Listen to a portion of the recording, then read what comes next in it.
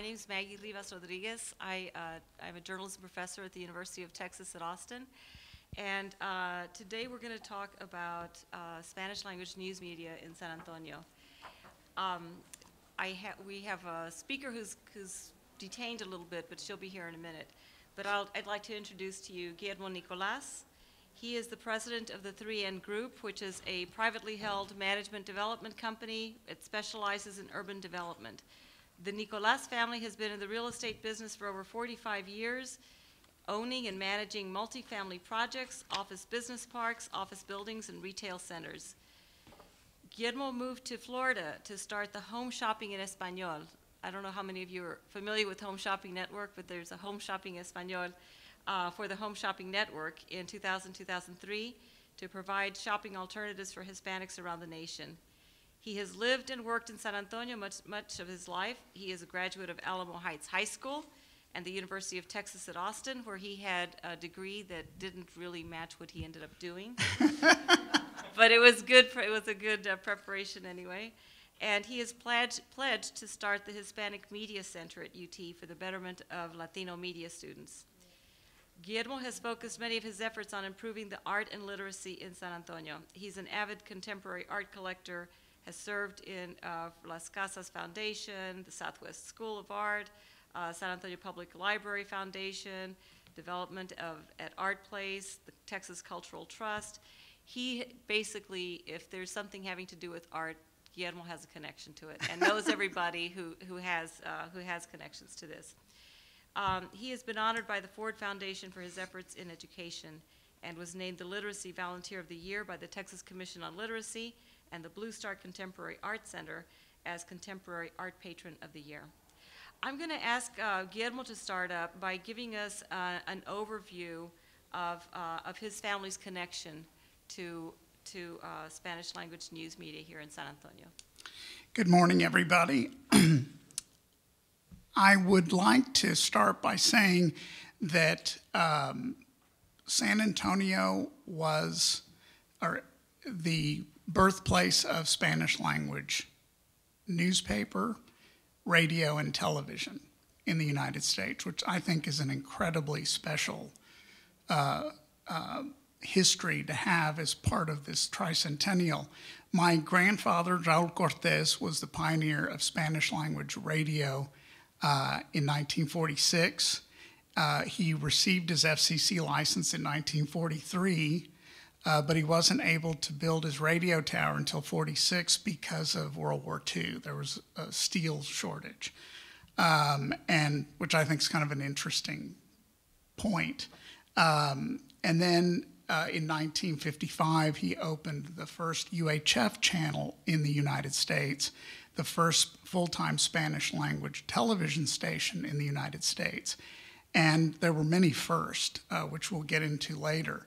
And then my father, Emilio Nicolas Sr., who, uh, and of course, both men, uh, Raul Cortez Sr. and Emilio Nicolas Sr., were both immigrants from Mexico who uh, came to San Antonio for their, their education and, their, and to seek their, their fortune. Uh, my father Emilio was uh, came to San Antonio uh, to study uh, at St. Mary's University and later uh, to get his graduate degree at Trinity University. And he became one of the first biologists that were one of the first groups of biologists hired at Southwest Research Foundation. And uh, because at the time, Mexican uh, Mexicans who were not residents were not admitted to medical school. He wanted to be a doctor. But to his great fortune, he became a biologist and met my mother, uh, whose father was uh, already, uh, you know, had the radio business. He had by that time built the Sombrero Radio Network, which uh, was uh, spanned Texas all the way to California. And um, and so my father uh, uh, went to work for his father in law while he worked at Southwest Research and worked for Jack Pitluk Advertising, learning the, the television business. And he really fell in love with it. And in 1961, I believe 60 or 61, uh, he and a group of investors bought the station, the television station for my grandfather, and it became KWEX TV. And uh, the rest is history, and we'll get into all the, we'll fill in all the details uh, in the next hour. Um, so Guillermo, um, I'd like to, for- did you want to, show your slides? Sure, we can. Let's, you want to go to the, to Yeah. the next slide? So this is, so that, that first slide uh, is the title of, of the book that I might write at some point. I've had that title for about 30 years. I thought it was catchy. Um, This is a wonderful picture. I wish I could tell you who the woman is singing. Um, But this is uh, typical of, of what went on at the radio station on a daily basis. Of course, it was, radio was live in those days. So uh, not only was the singing uh, and the acting live, but so were all the commercials. So talk about uh, really being on top of scheduling people and making sure they showed up on time. The next slide, please. This is just a photo of my grandfather, Raul Cortez. Next, please. Next slide. This is just a rendering on the left. The, the television station, unfortunately, was bulldozed a few years ago, which I think is a big loss for San Antonio. I really, I had gone to then Mayor Castro and to uh, City Manager Sheryl Sculley, and not really just for our benefit, but you know, because we're television re- and advertising people, I'm always thinking about what can we do? I live here. I, I want to make my city better, and how can I best promote my city? And I felt that they really should have picked up the original station building and taken it to HemisFair, for example, built a uh, Spanish language radio and television museum, uh, creating yet another tourist uh, destination and helping to uh, engage and educate our own population as to the great things that have occurred in our city. I think it also is something that would have helped the youth of San Antonio to help Mexican American, uh, all children, but primarily Mexican American children, to realize that these things were done by people just like them and that they could attain and achieve great things and that. Um, these aren't just giant corporations that kind of were birthed straight out of the womb. These were tiny little businesses and people who took great chances uh, in, in building a business that may have never existed and may never have helped to advance uh, our development. So uh, the first photo is, is a drawing of the station building.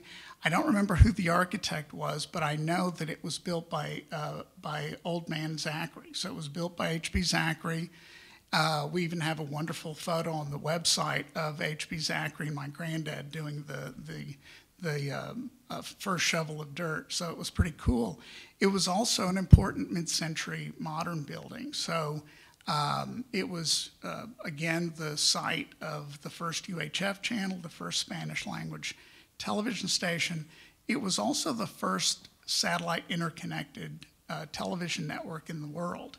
Uh, and a year before uh, Ted Turner's famous CNN. Uh, and so everything, so when you drove by 411 East Durango, you saw a gigantic Earth station, a giant white dish. That was the first private Earth station in the country, right here in San Antonio. And it received the programming from the satellite from Mexico City and from San Antonio. The network was beamed out all of the programming to over 200 affiliated stations across the country. So San Antonio was uh, the center of Spanish language television for 40 plus years. Next one, please. Oh, this is a funny commercial. And if you'll notice the little black curly haired kid, the little kid with the black curly hair, that's me at, at about age four or five. Uh, so there were no child labor laws apparently then. My dad was using me for, for cheap commercials. Next one, please. These are just two fun uh, photos of uh, Christmas in July type uh, advertising that was produced locally at the station. Next, please. These were, uh, this was one of my father's partners from left to right, uh, René Anselmo, who was out of New York. Uh, this gentleman in the center is uh, Mr. Conill, and Mr. Conill and his wife uh, opened the first Spanish language advertising company in the United States. They were Cuban, um, Cuban refugees in 1959 that went to New York and opened uh, the, the first Spanish language ad agency. And they were lovely people. I remember that he and his wife used to come to San Antonio frequently, and they, my dad loved to, the way he relaxed was going out to his ranch in Johnson City, and he had Mr. Conill plowing the front field. Uh, and I've got evidence, I've got photographic evidence. All right, next. Oh, and would, I'm sorry, would you go back? The picture on the right is uh, Emilio Azcárraga Milmo and his father, Don Emilio Azcárraga Vidaurreta. The old man, uh, as he was lovingly called by my dad, was his mentor he was a business partner of my grandfather's. Of course, he produced all of the programming that that we bought and uh, aired. And and the old man also has the further distinction of being the pioneer of all of radio and television in Mexico. Uh, and uh, and he was, according to my father, a great man and a, and a very modest man and very loving towards the Mexican people. Um, his son, perhaps not so much. All right, next. This is the original invitation to the inauguration of the first satellite interconnected television network in the country. By the way, uh, SIN, Spanish International Network, now known as Univision, was the fourth television network in the United States. And there's a wonderful 20 year long exhibit at the Smithsonian uh, National History Museum in Washington, and it's called American Enterprise, 1700 to the present. And in this uh, wonderful exhibit done by the Smithsonian is my grandfather and my father. So that's, I think, a really big deal. Um, the woman on the right uh, wearing the blue skirt is Teresa Rodriguez, and Teresa was the first Spanish language, uh, she was the first female to uh, uh, anchor a national newscast uh, in 1982, about 25 years prior to Katie Couric on CBS. So um, I told you we were a lot of first, and we're very proud of that one. Maria Elena Salinas, who's still on the air, uh, was also hired by Dad, as was. Um, Jorge Ramos, who I believe is coming next month for the San Antonio Book Festival. Uh, Dad brought him as a young 28 year old from Mexico City and employed him as the uh, news anchor at KMEX uh, in Los Angeles. Next. And that's it, just a little shameless plug for, for my website. If any of you are interested in just more history, more photographs, uh, there's a great timeline, there's some nice bios, and at the bottom of the page are all the links to the Smithsonian uh, and, uh, and uh, other organizations. And then there's some wonderful videos on YouTube. Um, so I guess our, our other panelists may not be able to join us, but, uh, but I do want to say a few words about Ignacio, about La Prensa. Um, the, the current La Prensa that we see today doesn't have a relationship really to the original La Prensa, and that was a very, very important newspaper. It was begun in, uh, in 1913 here in San Antonio by uh, Ignacio Y. Lozano. He was from Mexico. He came here when he was 22 years old, started working at a bookstore. He, one of the reasons that I think this panel is so important is because San Antonio really does serve as, as, as a, a hothouse, if you will, for Spanish language news media it was really the crossroads. A lot of people, a lot of the people who were more uh, revolutionary and wanted to speak out against the Mexican government would come to San Antonio. This was their landing place. And from here, they created, they had bookstores. I mean, it, today you hardly see any local bookstores. Back then they had many, many bookstores, and those bookstores were owned and operated by people who started publishing their own newspapers as well. So when they published their own newspapers, there were small newspapers. They had limited circulation, uh, but they and they covered a lot of what their content was was based on Mexican politics and it was about you know the, the, the government was corrupt the government wasn't doing the right thing for the people. And it was a very they were very elite newspapers. They were really very intellectual newspapers. So when uh, ignacio um, ignacio lozano began la prensa in 1913 he really concentrated on the political development of mexico. Um, and he was very critical of the mexican government. He within 12 years, he had the major Mexican intellectuals writing and contributing to La Prensa. It was really an important newspaper because the circulation, what he was doing was he was putting those newspapers on trains, and those newspapers, La Prensa, was being distributed throughout Texas and even as far as California. The reason we know this is because there, there is some research that's been done about La Prensa, and there is some research that's been done about uh, Ignacio Lozano. So people were taking their cues, Mexican, you know, Spanish-speaking people were taking their cues from this, you know, relatively small newspaper in San Antonio. So that's the reason it's so important. And, and, and it was the only one of its kind. He was an incredibly ambitious person. So he started thinking, well, if I'm doing so well here in San Antonio, with as much as we can circulate by train to different, different communities, I should go to California and start another newspaper because California was the other major, major uh, population center for Mexican Americans and Mexican, Mexican people. So he started La Opinión there in uh, 1926. Um, started in, in Los Angeles, and because the numbers are so huge, it became it really was established pretty well. All he had to do was drive to Los Angeles and look around and say, oh my God, look at all these Mexican people here. they really need a good newspaper like ours. And so he did. Um, in 1953, he died of cancer. La, La Opinión continued. Um, and 1963, La Prensa here in San Antonio ceased to, continue, ceased to operate. He, had, he was still working on La Prensa even as far as uh, being in California, but he was still coming to San Antonio and working on, on printing the newspaper here but they had very, very strong journalists. You know, Mexican Americans and Mexicans have really a very, very strong heritage of journalism. And so they've been doing this for a very long time. So it's kind of not a real surprise that then, uh, that then the Nicolas, the, the Cortez family and then the Nicolas family should become involved in the next, the next level of journalism, which was radio. Now, when radio first started, uh, it, it, was, it was a very expensive thing. A lot of people didn't have radios in their houses.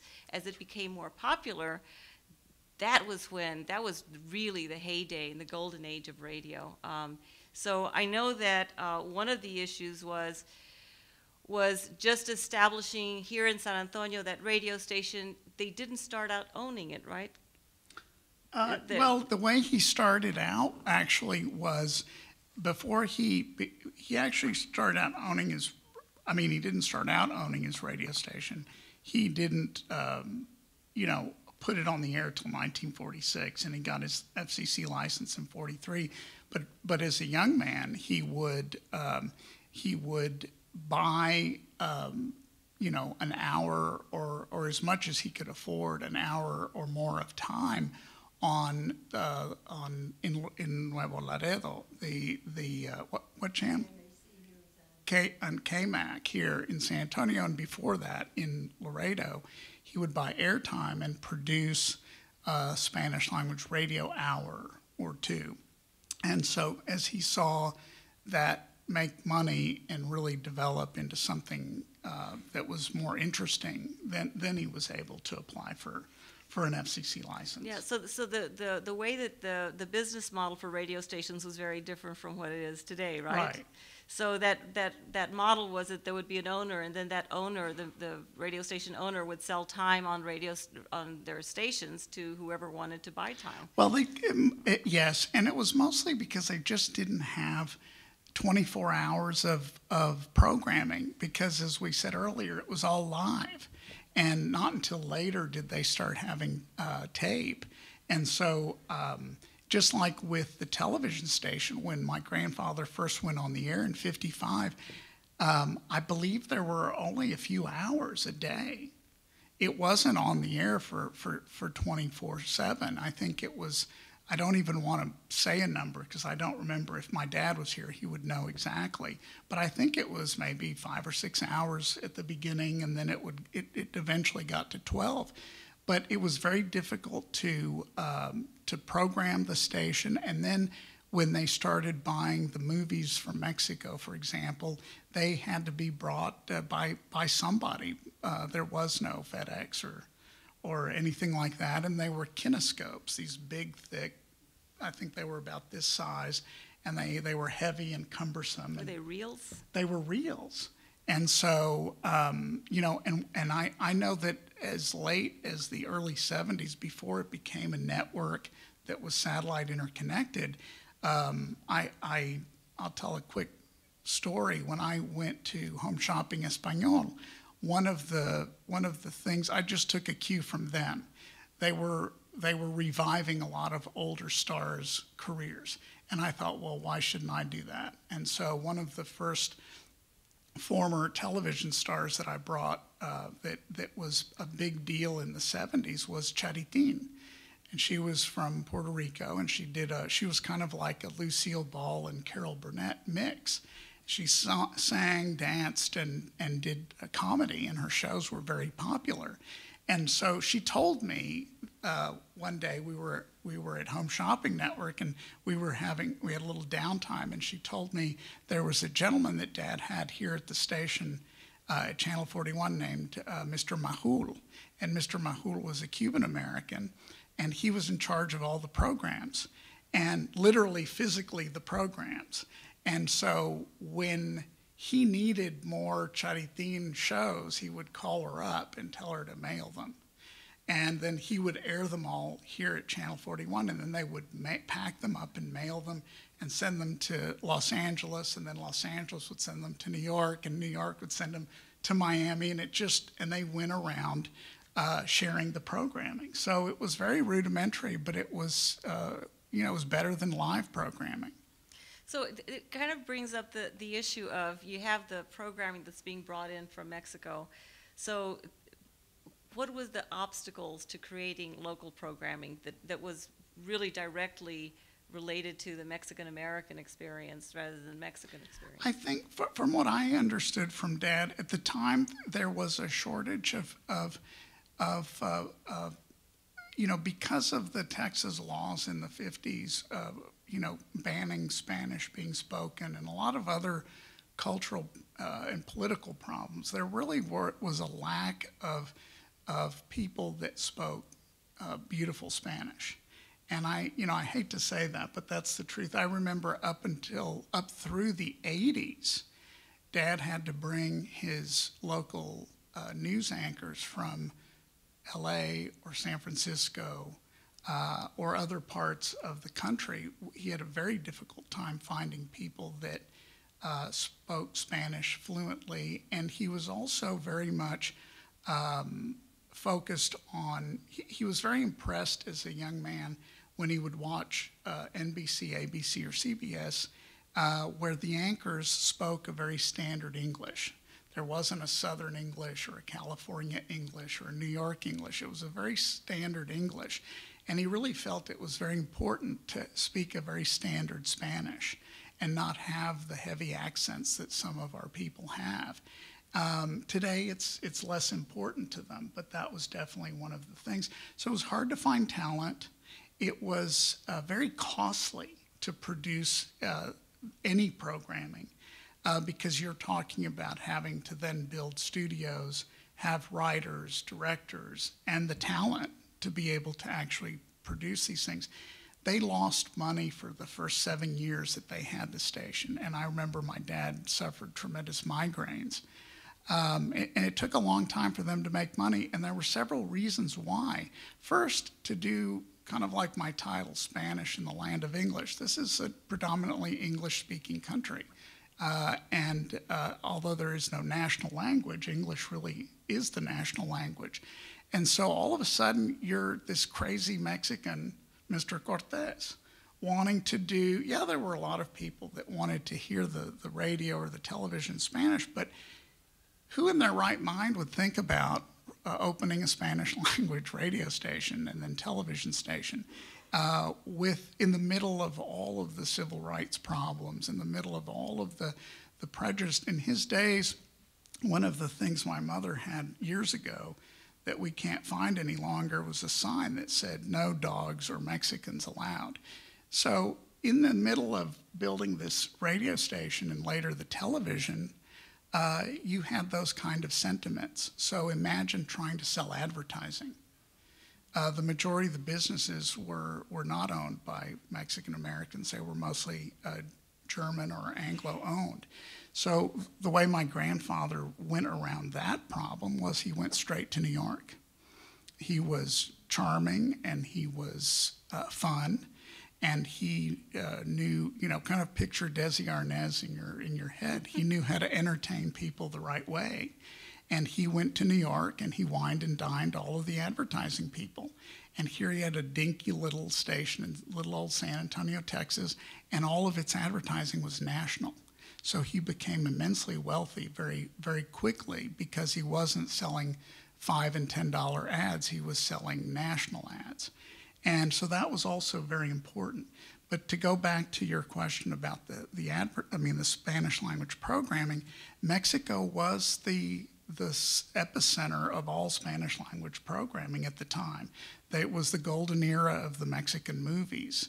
Uh, it was the golden era of composers like Agustin Lara and movie stars like Maria Felix uh, and Dolores del Rio, and, and they were very glamorous.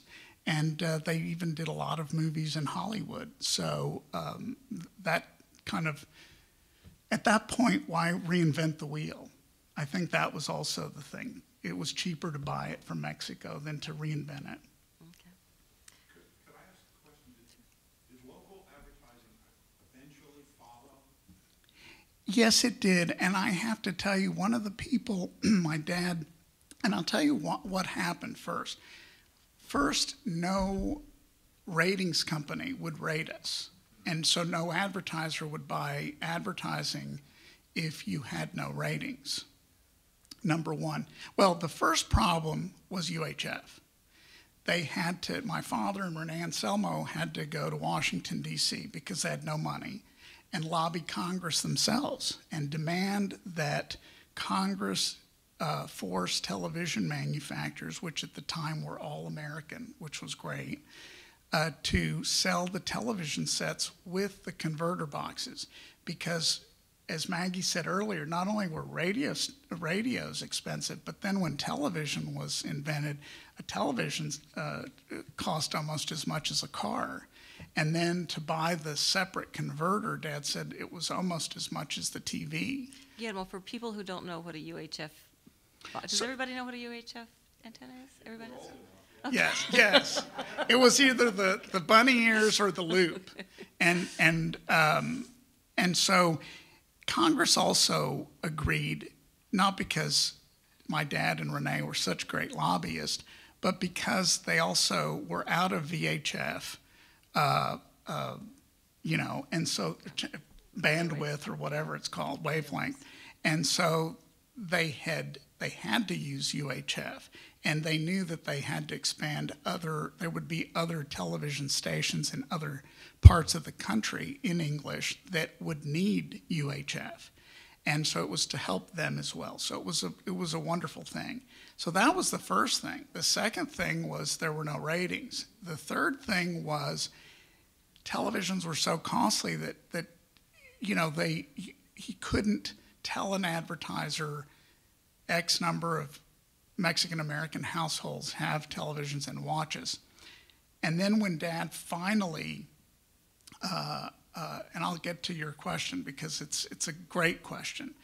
Uh, when they finally got uh, an, a, a um, an agency to rate them, um, they went out. They came to San Antonio. They went out to all these to the west side, the south side, where there were predominantly Mexican Americans or Hispanics and Latinos in general, And a lot of them were, even though they walked in and they could hear Channel 41 blaring, they would deny that they watched Channel 41 because they were embarrassed. And it killed Dad because the ratings guys would then come back, and I believe it was Arbitron that was the first one, and they said, "You, none of these people want you," and they all told us they don't want you. And Dad knew it wasn't true, and so he made them do it again, but he went with them. And because a lot of these guys didn't even speak Spanish. So they couldn't relate. And there were a lot of these people that didn't speak English. And so, how can you communicate? So, it was really very um, silly and a bit arrogant. But when he went back with them, and of course, they didn't know who dad was. They opened the door, and you could see Channel 41 playing on their TV set. And they would flat out say they didn't watch it. And dad would tell them in Spanish, Of course you do. You've got it on. And eventually they broke the wall down and they started to get um, ratings.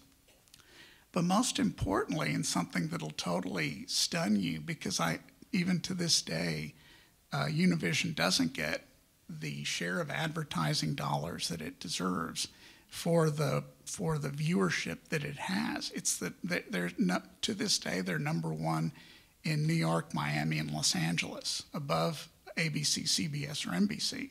But they don't produce anywhere near the ad dollars that ABC, CBS, or NBC produce. Um, and so, uh, even today, they they face tremendous struggles and problems. But um, Dad would tell me he'd walk into the the to the breweries or to Joske's or to wherever all these people where you knew that Mexican Americans shopped or they drank or they ate, and they would deny that Mexicans ate or drank or purchased their items.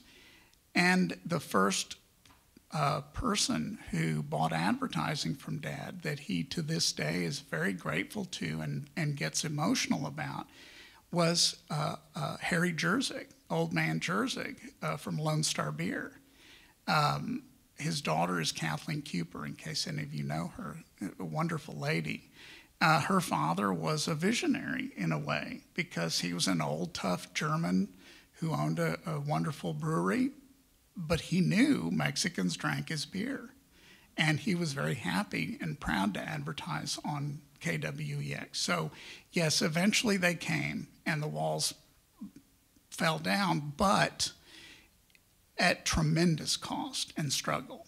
You know, Dad was even thrown out of. He told me out of the the boardroom at JC. I mean at uh, Kmart in New Jersey once because they said, you know, uh, Hispanics uh, didn't buy at, at Kmart. And in those days, of course, in that area, it was predominantly Puerto Ricans uh, in the New York, uh, New Jersey, Connecticut area. And so those were some of the struggles. But yes, eventually it did come. Well, I, I, uh, I read uh, a book that was under review by a publisher, and they talked about there was something that your your your uh, your family would get notices in the newspapers that people would clip to send in to prove to say this is how many people Yes. are reading us. Yeah, they had to do all kinds of stuff. Thanks for bringing that. They, you had to do, they had to do all kinds of things. They even, uh, at the beginning, my grandfather used to have big stages, and he'd bring, they'd do big um, concerts, and they'd have uh, the politicians come, the politicians of the day, et cetera, and they would give away television sets so that they could actually say, we have, you know, 100 TV sets out there, or 200 TV. So, yes, they had mail ins, they had all kinds of stuff.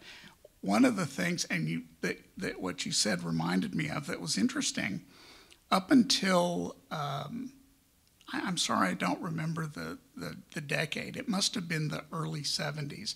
Whenever Houston Harte bought the Express News and, and the CBS affiliate, Channel 5.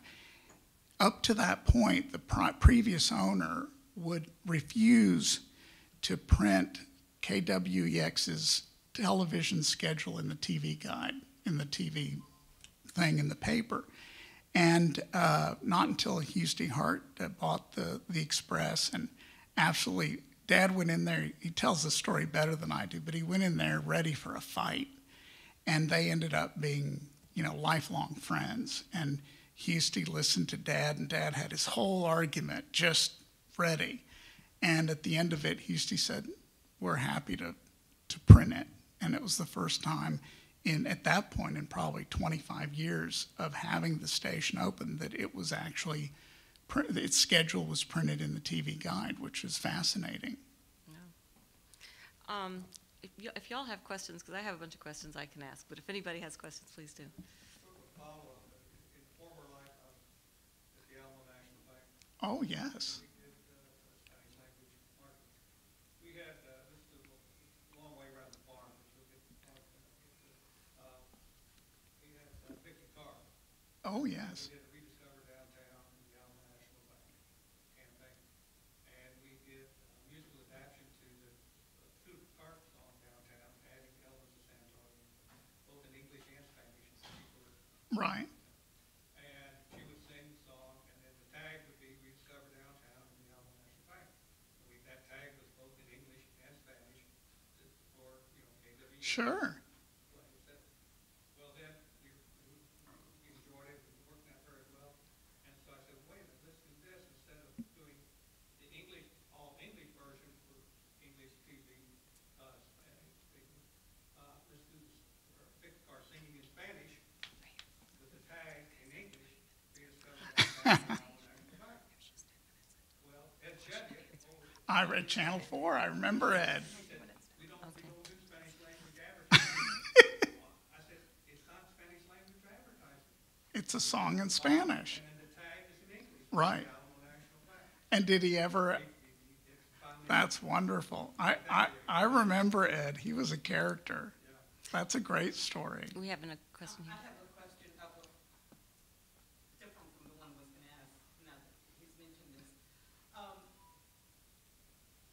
I do not remember station, it was not KWA. Uh, it was, I was l- watching television, and I don't remember what it was, it was one of the major networks. And I don't remember the product either. But the commercial was totally in Spanish. And that just it. Commercial is on, back to programming or back to, um, to the next commercial. Does either one of you have any information as to how those commercials are being received? Because it's happened more than once, that I'm watching TV, commercial comes on totally. So you're watching English language, an English language It program, on. like, I, I've seen, I've seen that too. Have you seen that? Do you I see have, that in I've, I've- I've seen, uh, yeah, I've- I've seen it, my, my husband watched a lot, watches a lot of soccer, and he'll be watching an English language soccer show on ESPN or something, and then they'll have a Spanish language. I, I, I don't know, it, it, it, you know, it's kind of interesting because it's just become so normal to me that I don't even, I don't even, I, I think it's a little bizarre. I think that, I, I think on the positive side, it, I think that the, the networks in English are feeling the heat. And I think that they know that we're the largest, the fastest growing demographic in the country. And we are the youngest. I believe we have the most 18 to 24, which is kind of the, the sweet spot. Um, and, and I think that they're, it's kind of like my situation with Home Shopping Network. That was Barry Diller who started USA Networks and, and he built QVC and then sold it and, and bought Home Shopping Network, which he just changed to HSN. And, you know, they, uh, I'll tell you how he started, how he decided to do HSC, which I didn't know whether to be flattered. Like, if, I didn't know if it was one of those stories you should tell or if they should stay in your head and you shouldn't tell. But I asked him one time, I said, why did you have the idea to do this, other than the fact that I think it's brilliant? I mean, Hispanics have great buying power. And um, he said that his, he and his wife, uh, Diane von Furstenberg, were sitting uh, having coffee on a Sunday morning, and she had read an article in the New York Times talking about Hispanic buying power. And uh, she told him that uh, he should do home shopping in Spanish. And that is how Home Shopping Espanol was born. It, it just comes down, uh, fortunately and unfortunately, for many reasons, it comes down to money. We have now, what, well over a trillion dollars in buying power. Do you know, Maggie? Know. It's well over a trillion dollars. In 2000, when I was at home shopping, we had a whopping 400 billion. And that was, you know, unbelievable. So I think to answer your question, I don't know how they're received. I don't particularly like it, um, but I'm, you know, a bit of a old fogey about that. The reason that my grand, but I don't know why my grandfather started the television. I know why my father took it over and dedicated his life to it, and it certainly wasn't to get rich, because it was the most cockamamie business you could ever be in, and there and and at every turn, they could have been bankrupt and never had anything.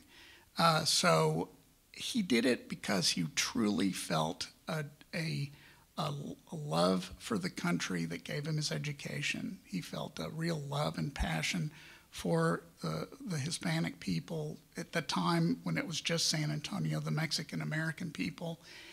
And he felt that it was a platform uh, with, uh, uh, with the ability to educate and entertain and to help uplift the population. And so when he ran the company, it was a lot of fun entertainment, but there was also a lot of education uh, on there. And he also used to do live editorials every Friday. And it was a way to, um, to round people up. There was no social media at the time, and so television was it. But I think that the uh, uh, I think the reason you're seeing Spanish language commercials on English language stations is because they want some of that money, and uh, they see that Univision is a.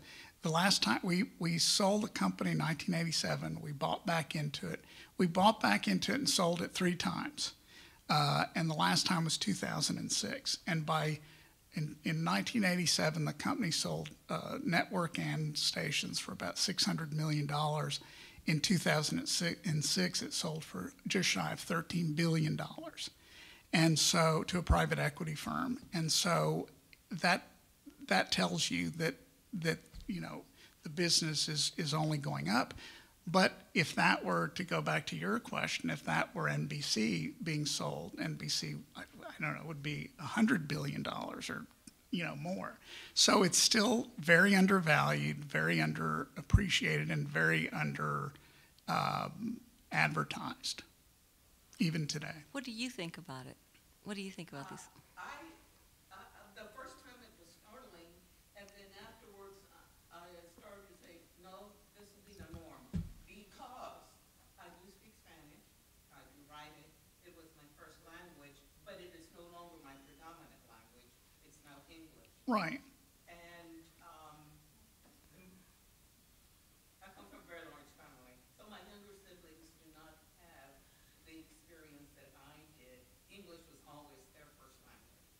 Oh, wait. And, um, and then the next generation is a- almost totally limited in Spanish.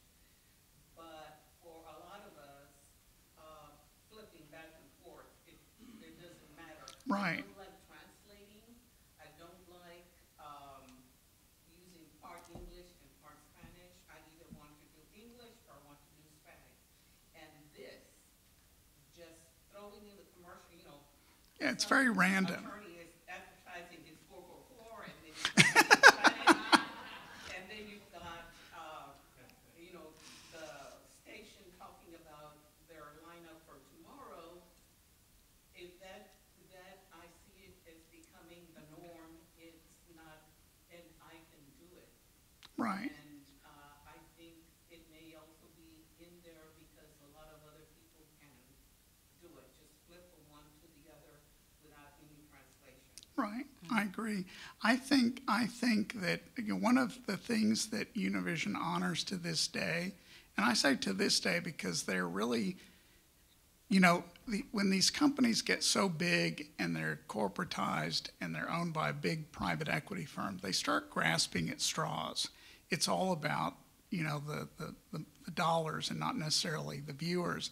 But up until now, they have honored uh, having Spanish only, nothing dubbed. Um, and Dad's reasoning for that was if you, it was a respect to the viewers. If you want to watch television in English, there are three, well, really four channels with PBS. And if you wanted, and we were the alternative, we were the cultural alternative. If you wanted to watch movies and shows and all kinds of other programming in Spanish, that was your cultural alternative. And that, he refused to muddy the waters. And a lot of people, like Lionel Sosa, really, uh, uh, who was an advertising person that Dad helped to get started, um, uh, was very pro bilingual, and Dad fought with him uh, tooth and nail to because Lionel thought it would be cool in the early 70s to do English and Spanish language commercials all in that 30 seconds, which was a, mess in Dad's mind. And he refused to air those commercials on the network because that was not their purpose or their mission.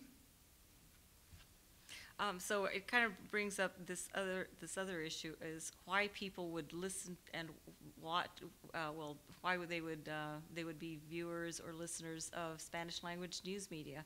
Um, and I, you know, I've, I've, I, I think there are a lot of people that listen to it for cultural language maintenance. And there's a lot that listen to it for, for acquisition. A lot of people that don't speak Spanish really want to listen to these radio. I, I listen to Spanish language radio all the time because I want to make sure my Spanish is, is sharp. But this is a big new area. You know, Spanish language journalism in our country is a big new area. At UT Austin, where I teach journalism, uh, last semester I co-taught a class on Spanish language journalism, and we're behind. San Francisco State now has a program in Spanish language journalism. San Francisco State. Uh, Miami has had one forever. Arizona State has one. More and more people are, more and more journalism departments are teaching their, their students to the, I'm not really qualified to teach Spanish language journalism because I've only worked for one, one uh, newspaper in Monterrey for six weeks when I was a college student um, a few years ago. uh, but but so I so I'm co-teaching it with people who who who do this, who have done this, and, and but it's a it's a big new area. So it's interesting to me to listen to the how hard it was, the obstacles in place for beginning uh, for those those pioneer Spanish language radio, television, newspapers, and then where where we are today, where we're having to really um, think about how do we best prepare people so that they are able to have bilingual reporters covering the news, not just people that they're bringing in from another country, but people who are from here who can understand this, the American governmental system. So it's really interesting. It is very interesting. I I uh, I want to give you a plug because I, I want you to know uh, Maggie and I met when I was first invited to the board of the College of Communications at UT, and Maggie runs a not aside from just being from well not just but from being a professor at UT, she also runs the uh, Voces Latino and Latina World War II uh, history program, and they have gone out and interviewed uh, hundreds uh, of World War II vets that were uh, Latino and, and Latinas that were never even acknowledged, um, and now has these wonderful oral histories of these people who fought for the for our country. So I think that's a, a wonderful thing, and now you're expanding to Viet, to Korea and Vietnam, I believe. And, and political and civic engagement. So we've actually interviewed um, uh, Guillermo's uh, dad uh, and his mom, who's sitting right here, Irma Nicolas. Um, and they, they both have had amazing interviews, and it's all about the beginning years of the of the television station. It's it's it's really a remarkable gift. So thank you, thank you for yes, of course. Well, I We have so. a question back here. partly comment, par- partly opinion.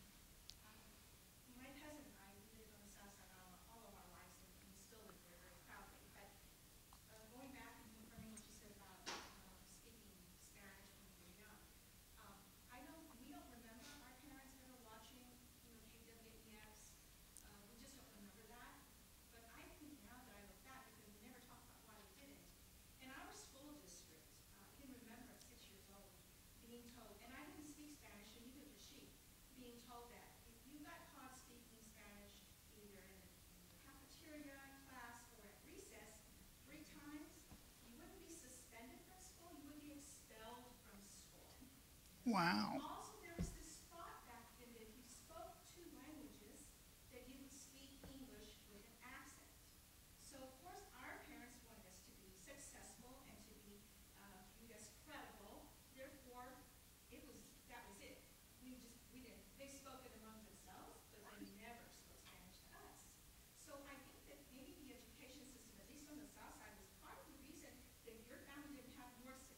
Right. was a lady, because we were forbidden to speak Spanish. We just were.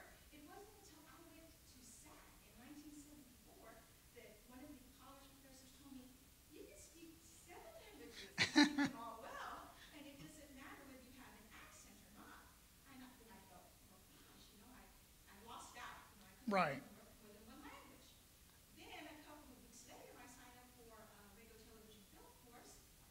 Uh, Dr. Lala was the chair at the time, and there was this young man, and I think he went to local West Side School, went to Lanier, and he was great at radio. I mean, he was a natural. He just went in there and he just was doing great things, but he had a very, very heavy accent. Right. And I remember that she mentioned one time in a group of us, once, a group of us, that said that you wouldn't make it in radio. It's because, because still in nineteen seventy-four, radio was not ready to hear a extremely talented Hispanic man. Yeah. No, that's why, that's why Henry Guerra was so successful. His English was, first he had a great, vo- I mean, he had a million dollar voice. Uh, may rest in peace, but he also didn't have a, an accent.